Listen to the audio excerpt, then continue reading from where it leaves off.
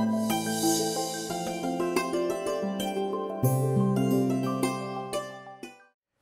నమస్కారాలు. Welcome to Divya Sanjeevini. మనం last ఎపిసోడ్లో మూడు బేసిక్ ఆసనాస్ గురించి నేర్చుకున్నాం కదా.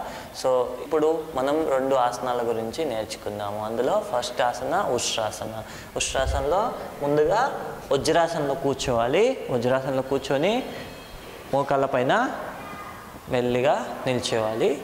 రెండు చేతుల్ని ముందుకు చాపి ముందుగా కుడి చేత్తో కుడి మడమను ఎడమ చేత్తో ఎడమ మడమను పట్టుకోవాలి. ఈ విధంగా ఒక ముప్పై సెకండ్ల నుండి మెల్లిగా ముందుకు వచ్చి రిలాక్స్.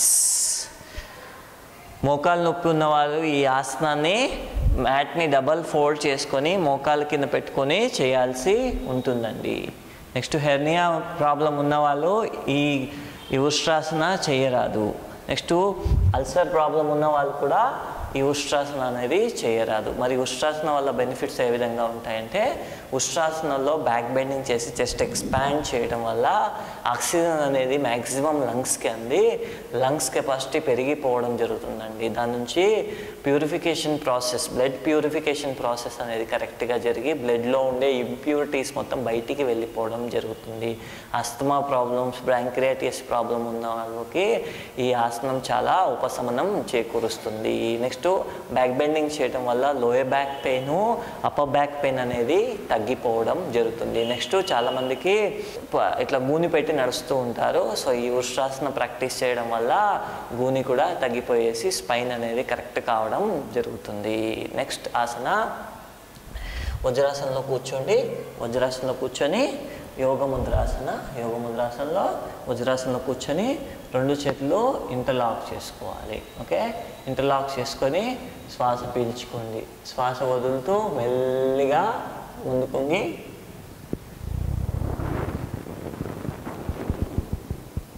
చేతులు నైంటీ డిగ్రీస్ వచ్చేలాగా పైకి తీసి కొంతమంది ఇంతే వస్తుంది. ఏం కాదు. ఎంత వస్తే అంతే చేయాలి. ఫోర్స్ చేయొద్దు. మెల్లిగా ఇక్కడ థర్టీ సెకండ్స్ ఆపి శ్వాస పీల్చుకుంటూ పైకి లేయాలి. ఇది యోగ ముద్రాసనం కూడా అప్పర్ బ్యాక్ పెయిన్ అనేది తగ్గిపోవడం జరుగుతుంది. నెక్స్ట్ లోయర్ బ్యాక్ పెయిన్ ఉన్న వాళ్ళు చాలా తక్కువగా చేసుకోవాలి. ఇంతే ఎక్కువ కిందికి వెళ్ళరాదు. నెక్స్ట్ డైజెస్టివ్ సిస్టమ్ అనేది టోన్ కావడం జరుగుతాయండి. ఇంటర్నల్ ఆర్గాన్స్ కూడా టోన్ కావడం జరుగుతాయి దీని నుంచి కూడా పొట్టలో ఉండే అనవసరపు కొవ్వు తగ్గిపోవడం జరుగుతుంది. నెక్స్ట్ ఆసన మండుకాసన మండుకాసనలో వజ్రాసనలో కూర్చొని రెండు పిడికలు బొడ్డుకి ఇరువైపులా ఇలా పెట్టుకొని శ్వాస పీల్చుకొని శ్వాస వదులుతూ మెల్లిగా ముందుకు మళ్ళీ శ్వాస పీల్చుకుంటూ పైకి లేయాలి. మళ్ళీ శ్వాస వదులుతూ కిందికి. ఇక్కడ ఒక టెన్ సెకండ్స్ ఆపి శ్వాస పీల్చుకుంటూ పైకి. ఈ విధంగా టెన్ రౌండ్స్ చేయాల్సి ఉంటుంది. ఈ మండుకాసనం వల్ల డయాబెటీస్ అనేది కంట్రోల్ కావడం జరుగుతుంది. స్టమక్లో ఉండే ఎక్సెస్ ఫ్యాట్ అనేది తగ్గిపోవడం జరుగుతుంది. బాడీలో బ్లడ్ సర్క్యులేషన్ అనేది ఇంప్రూవ్ కావడం జరుగుతుంది. నెక్స్ట్ ఇట్లా కిందికి వంగినప్పుడు బ్లడ్ అనేది రివర్స్ తలలోకి ఫ్లో అయ్యేసి తలలో ఏమైనా క్లాట్స్ ఉంటే రిమూవ్ కావడం జరుగుతాయి. నెక్స్ట్ ముఖకాంతి అనేది పెరగడం జరుగుతుంది. ఫేస్లో గ్లో పెరగడం జరుగుతుంది అనమాట సో చూశారు కదండి ఈరోజు ఆసనాలు. సో నెక్స్ట్ ఎపిసోడ్లో ఇంకో విషయం గురించి మనం నేర్చుకుందాం. అంతవరకు సెలవు. నమస్కారం.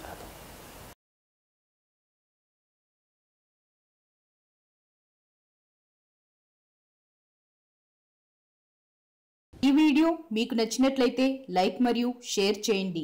మీ అమూల్యమైన అభిప్రాయాన్ని కామెంట్ రూపంలో తెలియచేయండి. ఇలాంటి మరిన్ని వీడియోస్ కోసం మా ఛానల్ను సబ్స్క్రైబ్ చేసి పక్కనే ఉన్న గంట సింబల్ను నొక్కండి.